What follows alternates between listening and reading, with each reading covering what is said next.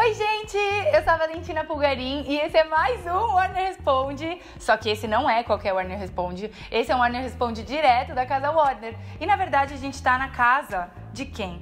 De Sheldon e Leonard. Tá bom, hoje em dia é só do Leonard e da Penny, mas eu tô bem sentada aqui no lugar do Sheldon e eu queria muito que vocês comentassem aqui embaixo o que, que vocês acharam aqui do nosso cenário lindo e se vocês reconhecem as referências ali atrás, a estante, a parede, sofá, o lugar do Sheldon. Uh! Vamos lá pro Arne Responde? Vamos! O David Muth perguntou: Valentina, qual é o seu trabalho específico na Warner? Você viaja muito a trabalho. Eu sei, eu amo. É, qual foi a viagem que você mais gostou? Então, David, aqui na Warner eu cuido das redes sociais desse canal lindo que todos nós amamos. Então, quando vocês estão lá xingando a Warner, talvez seja eu respondendo vocês, tá? E eu amo muito fazer as viagens, é algo muito legal porque dá a chance para Warner de mostrar algo muito mágico de Comic Cons, de como são as gravações da Warner nos outros lugares. E a gente ama muito a magia da Warner chegando até vocês. É, a viagem que eu mais gostei.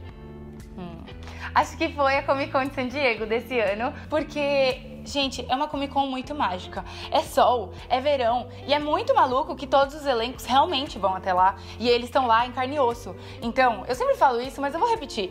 Para mim é bizarro assistir uma série toda semana e aí você vê as pessoas toda semana, você vê elas no Instagram, você vê elas no Facebook, você vê elas em todo lugar e aí a pessoa tá lá de carne e osso. É absurdo isso. Eu, eu ainda não consigo assimilar. Quando eu, vejo, quando eu vi a Melissa Benoit, foi uma das pessoas, primeiras pessoas assim que eu vi de verdade muito perto de mim, tipo, dois braços de distância. E aí, ela parecia um anjo. Ela era tão bonita, ela tinha uma pele tão bonita e tão loira e tão maravilhosa. E eu ficava só. Meu Deus, essa pessoa é de verdade. Então, eu gostei muito dessa Comic Con, porque eu ficava apenas babando o tempo todo. Thank you. O Fábio Franciscato falou: As melhores séries estão todas na Warner. Você está certo, parabéns. O Rafael Honório falou: A atual temporada de Supernatural, com fendas dando acesso a outros mundos, iria encaixar como uma luva na atual temporada de Legends of Tomorrow, com os demônios e criaturas do mundo de Constantine. Nossa, é verdade. Inclusive, os métodos de Constantine são bem semelhantes ao de Supernatural. Gente, esse crossover podia acontecer, né? O único problema desse crossover é que a gente ia confundir quem é o Misha, quem é o Constantine, porque os dois usam a mesma roupa. É muito real isso, né? Que eles são muito iguais. Cara, por que fizeram o mesmo figurino? Não sei. A Larissa Lemos Andrade perguntou: Valentina, você acha que a Evelyn vai atrapalhar Bughead? Manda beijos.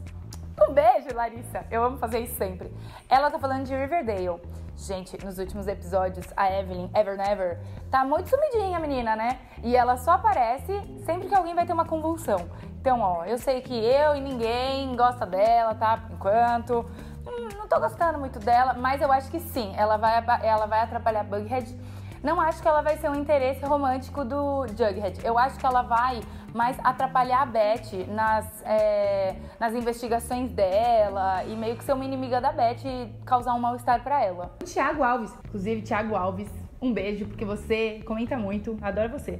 É, ele perguntou: Valentina, qual graduação você fez para trabalhar na Warner? Um trabalho nerd seria o emprego dos meus sonhos. Que fofo! Então, Thiago, eu estudei comunicação social, em específico relações públicas.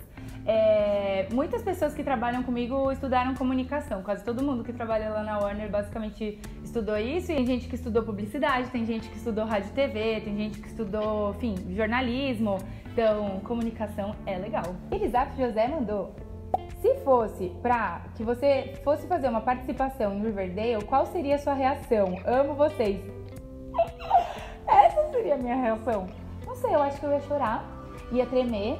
E aí, quando eu chegasse lá pra fazer uma participação, talvez, quem sabe, né? Par romântico de alguém? Pode ser. Bom, gente, eu posso ir lá só pra ser a melhor amiga da Beth, da Verônica mesmo. Ah, eu já sei qual ia ser a minha participação perfeita. Eu podia ser uma figurante que toma milkshake no Pops.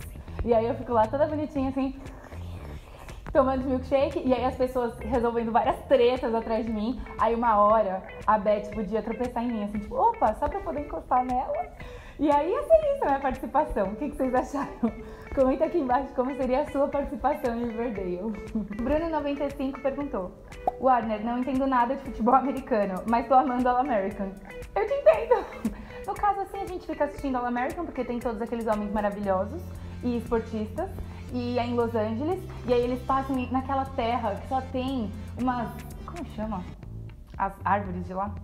Palmeiras? Palmeiras, isso. Gente, essa série é muito boa. Inclusive, passa toda quarta-feira. Depois de Riverdale tem um filminho. E aí você janta nessa hora enquanto você assiste filme. Aí você assiste All American.